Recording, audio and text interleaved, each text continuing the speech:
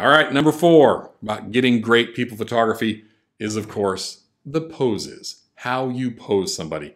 Okay, let's start off with the absolute worst pose in the world, and everybody does it. So again, as the photographer, you take control and stop your subjects from doing this. But you're like, hey, let me take your photo.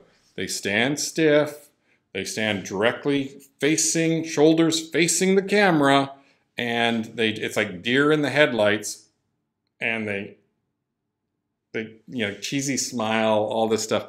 That is the worst photo, okay? And and and never ever take that photo again. Take control, grab your person, move them around a little bit. Well, don't grab them, but you know, take control of the situation and really uh, get them to pose right. Okay, so let's go over the poses. I have a list. Here we go. Here are the top poses that I use, and they are, for the most part, um, not really gender specific. Boys can do them, girls can do them.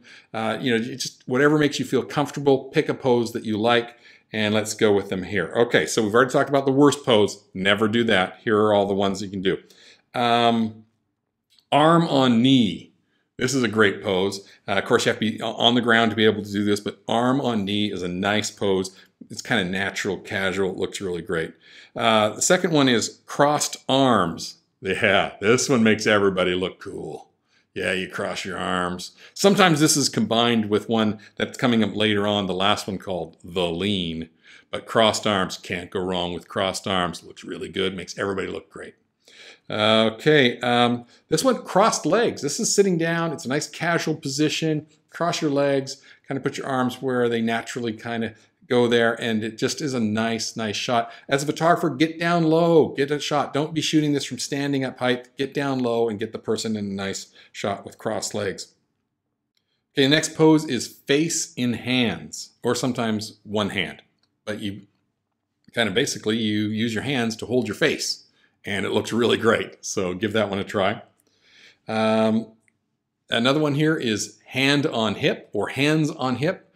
Kind of tilt over to one side, put a hand on a hip there. And again, it is, these are all just changing that basics, you know, straight look at the camera by just adding a little bit of movement and, and just changing to the body shape. And it just really makes the photo look better. So that's called hand on hip.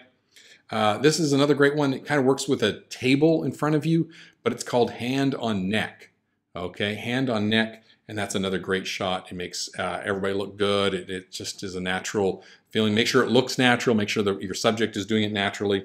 Um, this one I don't have a lot of examples on, but it's a really nice one here, and it's called looking back. And it's when you you kind of your body is facing away from the camera or sideways to the camera, and then the person looks back at the camera. Great shot. And then the last one, one of my favorite ones is called the lean. And it's when you just get your subject to lean up against something and it makes for a real casual kind of like, hey, I'm just hanging out here, getting my photo taken kind of look. And those are gonna be great. So go ahead, try those all out, each one of them, give them a try and see uh, what your subject looks like in these photos.